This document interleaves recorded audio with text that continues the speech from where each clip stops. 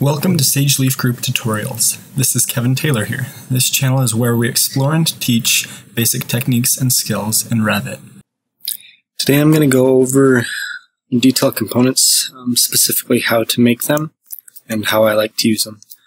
So here on the screen you see just a little wall section of a house, just a typical section. So in order to start, I'm going to create a call, a call out for, let's just take this little region right here. Got that, and we'll zoom on in to that right there. Um, depending on how much you need to show, I'll usually do these details about three inches. Well, an inch and a half is probably good for these. The real close-up ones that show flashing and all that, you should probably do about three inches. So, with detail components, go to annotate and then component and then detail component. Um, DC is the shortcut for that. These are really useful. So if you notice over here, I have a whole bunch that are already pre-made. Um, the break lines are very handy. They clean up your drawings pretty well. You can use the spacebar to rotate it automatically if you're not familiar with that command. Here's just one example of detail components, but say you wanted a 2x4. Um, so I currently, I already have one that's made for that. But let's say that you didn't. So in order to create one, you click the big R, click New, then we're going to create a family.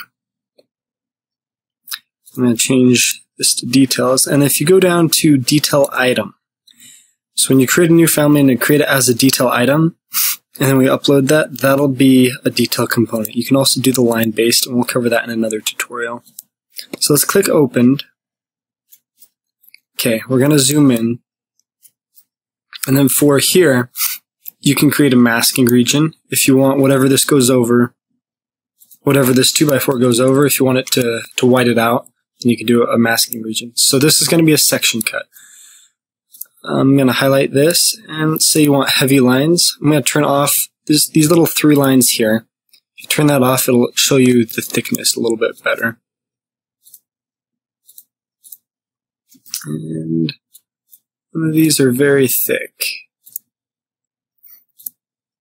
So I'm going to go in and adjust the line thicknesses. So if you go to Manage, Additional Settings, Line Weights, oops, I'm sorry, Additional Settings, and line styles, which we can't change. Never mind. So we're going to leave this on detail item. And then to create a new line, you go to create in line or the shortcut is LI. Let's create two going across like that. Here we go. Oops. Before we do that, we actually need to finish the the model line, or this is still the filled region. So I'm going to leave those as medium lines actually. When we select OK, then it'll show the line thickness. Now we can do LI for or model line ML. We're create and then line. And then we'll draw the cross hatching here to indicate that it's being cut through. And then you'll do a file save as family and I'm going to save this real quick.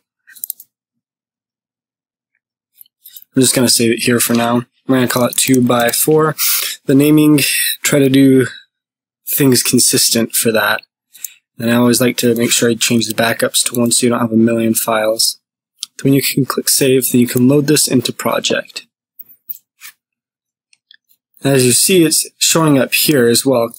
So with the detail components, they'll show up in any two-dimensional view, um, whichever it is. So you, you, can use them in floor plans, um, sections, and details, whatever. So then you come back into here, and the one thing I forgot to change was the size of this. So we'll come back into the family editor and edit the boundaries. And I am going to place dimensions here. And it says two and a half inches. So this needs to be an inch and a half and this needs to be um, 3.5 inches. for it to be 2 by 4 Select OK. Um, those lines tend to be pretty heavy, so we're going to change those to light. See what that looks like. And for these, we're going to pull those a bit shorter. Bring them on in.